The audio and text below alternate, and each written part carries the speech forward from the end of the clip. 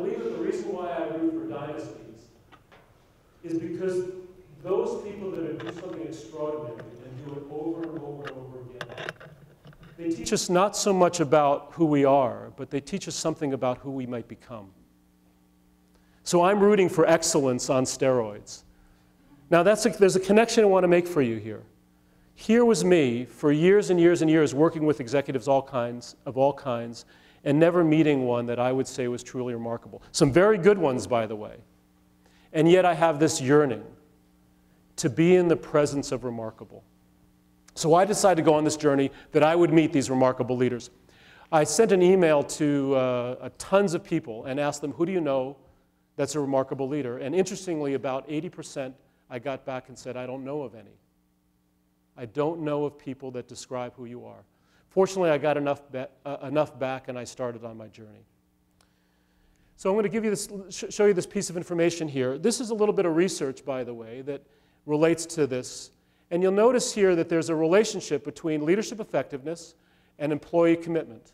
No surprise there. Most of us would say, yes, as the leaders become more effective, employee commitment rises. And so there's a direct relationship between the quality of leadership and the degree to which the employees experience the workplace. No surprise there. But here's a little bit of piece of interesting information right there. You'll notice that as leadership rises, so does employee commitment, but there's a point where it takes quite a leap.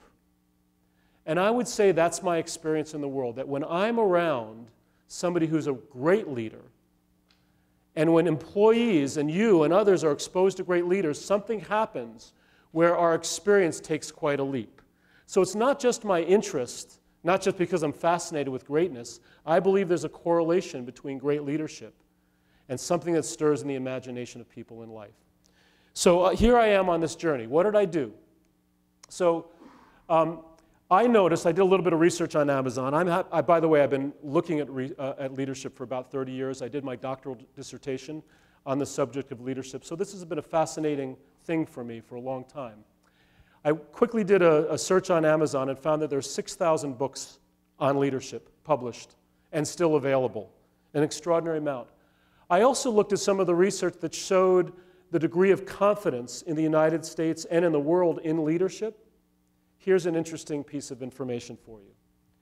Confidence has been at about 30 to 50% based on all the studies you would ever look at on leadership. Confidence in leadership is about 30 to 50% on just about all walks of life.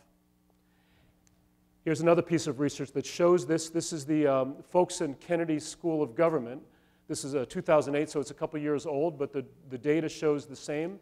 If you look at all, uh, all the research on all the different walks of life, our confidence in leadership in only three sectors or four sectors is more than the middle level. There's a moderate amount of confidence in me military, medical, and nonprofit and charitable. If you go all the way down here in business, you can see a very, very modest level of confidence in leaders in business. Now you might say, well, that's maybe that's the economy. But it turns out that if you look at this research over the past 30, 40 years, the data is roughly the same. I'll show you a little bit of research the past five years. This is, again, the Kennedy School of Government data. And the average confidence is actually going down a little bit on all. It's an interesting phenomenon here, by the way. This is a little bit unrelated to my talk, but uh, oh, five years ago it was quite tight, confidence and leadership of all these different sectors. And then somewhere around 2000 and 2000, 2007, 2008, it spread out. I think that has to do with the economy, and it gets uh, more turbulence in the economy creates more upset in life, and so it disperses. But this general phenomenon, the average confidence is somewhere around 40%. That has remained for five years, and if we keep going back in time for 40 years, it would still be the same. So here's the question that I started to formulate in my mind 6,000 books on leadership, a ton of information, a ton of research on leadership. You and I, and just about everybody else, could read books, go to workshops, and learn about leadership, and yet, the quality of leadership, in my estimation, at least based on this research, is not going up. Why is that? I think it's because we're looking at leadership in the wrong place. I think it's because when we think about leadership, we think about what are the five easy steps? What are the five secrets to leadership? What are the five behaviors or seven behaviors or three keys to leadership that you or I could learn? And if we learned that, we too would be a great leader. Well, those five or seven or three steps to leadership have been available for 30 years, 50 years, 100 years in all the research, and yet leadership is not going up. I would suggest it's because it's not in the five easy steps. You can't get to great leadership from there. So I went out to meet with these great leaders to discover what is it? What is that secret ingredient that's deeper than the five steps, the five easy ways to great leadership that I might discover by meeting and sitting with some great leaders? I went on this journey. And um, by the way, if we were to ask the question, what are the qualities of great leadership? And I ask this all the time from a lot of different people. We come up with the same answer vision, they, great leaders see the big picture. Great leaders have great focus. They have drive and determination. They have courage. They have integrity, etc., etc. We know these things. We know the qualities of great leaders. And yet, in spite of knowing it, in spite of reading about it, in spite of learning, in spite of going to all the workshops you can imagine, it doesn't make you or I a greater leader. Again, I was looking for the essence of what leadership is all about. So I met with um, uh, a number of people. My criteria for selection is that the leader had to be leading a groundbreaking organization, that the organization had to be doing something extraordinary in the world. One of the leaders I met was Mary Taverna, who brought the hospice movement here to the United States. I would say she was a brown, groundbreaking leader. Uh, they had to be CEO, president, executive director, or CEO of the organization, and that the quality of the culture had to be a direct result of the leader. I got a chance to meet about every two weeks for almost two years with an extraordinary leader. And I sat down for about two hours with each of these leaders, asking the question of them, What makes you tick? It was a little bit like my dinner with Andre, which is a movie that most of you probably aren't familiar with, but came out about 30 years ago. Two people sitting having dinner together for two hours at a restaurant. And this is what I got a chance to do. And can, you can imagine just that experience in and of itself. Uh, I would say it was life changing for me. And it was life changing because not so much about what they said, but how they presence themselves. So, some of the leaders I met with are uh, listed here. I'm going to blow by this real quickly so I can get to the essence of what I want to say to you. This is the first leader I met, Chauncey Starr. Chauncey is the founder of the Electrical Power Research Institute which most of you may not be familiar with, but because electricity is a commodity, in other words, the electricity you plug into the wall, you plug into a cord in the wall here, and you plug it in elsewhere, all over the world, you get the same stuff. He figured out, he had the realization that, well, if electricity is a commodity, then there's not much research and development going into producing better electricity, which is partly why we use the same methods for producing electricity now that we did 100 years ago because it's a commodity. It's hard to improve on that juice that comes out of the wall. He realized that with so much little investment in electricity, he had to figure out how do we, cre- how do we create conditions where the utility industries are going to put efforts into improving electricity. He figured out, well, what if we pooled them all together? And he created the Electrical Power Research Institute. I met with Chauncey. He's a 93 year old man and he's still, he was still working full time at age 93. I met him at the cafeteria at the Electrical Power Research Institute. He's hobbling to his seat in the cafeteria, sits down very slowly. He pulls out this sandwich. Sandwich is made of avocado and tomato. And he says to me, I have to eat carefully. I have to keep my cholesterol down. My doctor tells me that it's going to extend my life. And so I have to be very careful.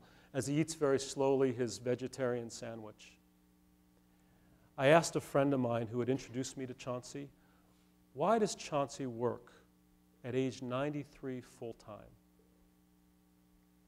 My friend said to me, because Chauncey doesn't want to die until he solves the energy crisis on the planet. That's the people that I met in my journey. Almost all of them did not have an ambition the way in, you, in way in which you and I think about ambition. Almost all of them were driven by something deeper.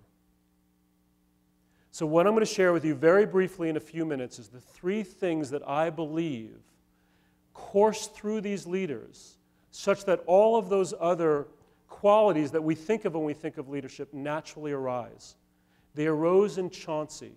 The first thing is a deep sense of purpose.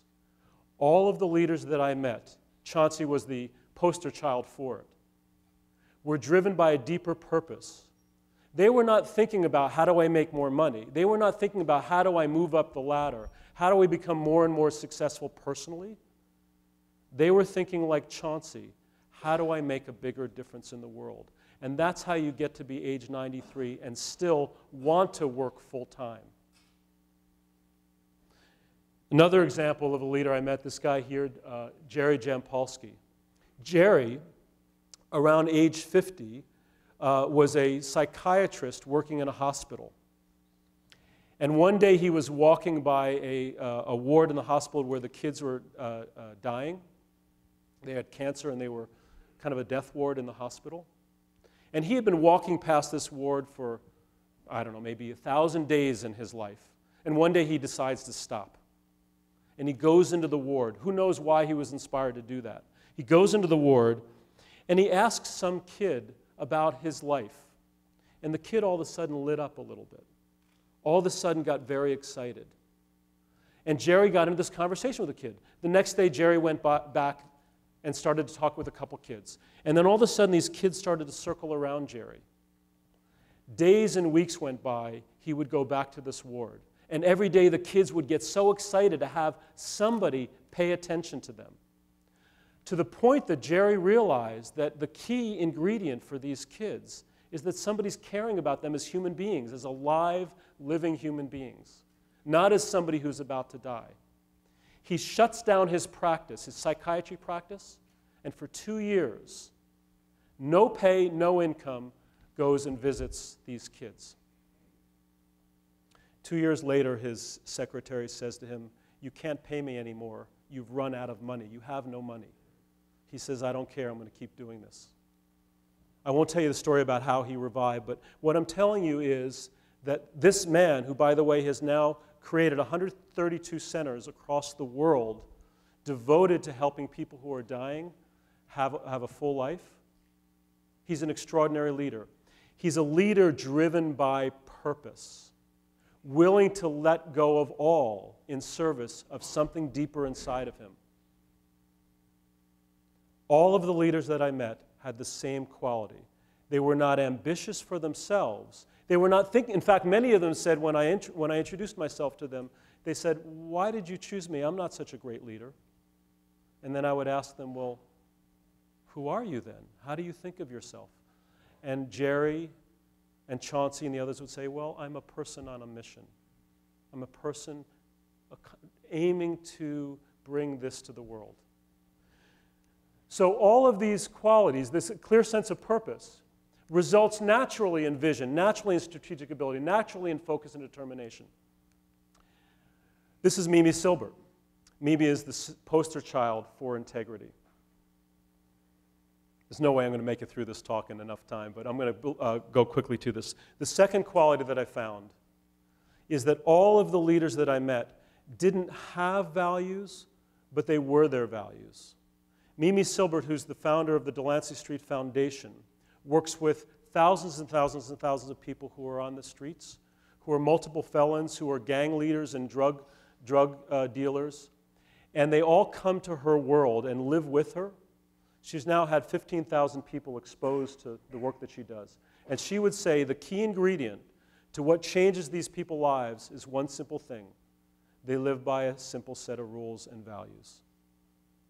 She lives with these people daily, and she has for 30 years, and she feels safe among people that you and I would not feel safe because they stick with these values. She is not having values, she is her values. So um, I would say that anchored in one's values, clear about one's values, and being immovable, and impeccable is the second ingredient that naturally gives rise to these things we call integrity, trustworthiness, courage, and determination. It flowed through all of the leaders I met. And the third quality, very quickly, this is Bannis Hudson. Bannis is the uh, former CEO of LensCrafters and former CEO of Bevmo. Bevmo is a, a, a company that's been quite successful in the past uh, 10 years. He took it over when they were um, about to go bankrupt and then revived it to a company that is now quite thriving. Bannis, you would think, when you think about leaders, you think about people who are, uh, have these big desks, big offices, uh, awards all over to show people how wonderful they are. Bannis had this little office, 10 by 10. Instead of the secretary greeting me, he greeted me. And the first question out of his mouth was, So tell me, Keith, a little bit about yourself. Here's a man who I was there to interview about his greatness, to learn about what, what makes him so wonderful, and he was interested in me.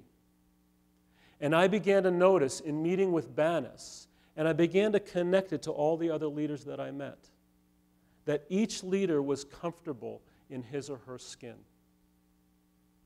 That is, that they didn't need to shout, they didn't need to boast, they didn't need to show all the awards that, you know, here I am with President uh, Bush or President uh, Obama.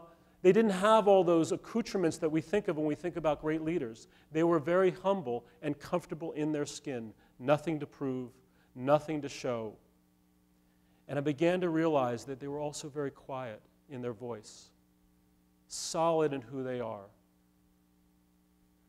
So, the three qualities that I saw in meeting with these leaders every two weeks for two years clarity of purpose, anchored in their values, comfortable in their skin. I think of it as a rock solid sense of self.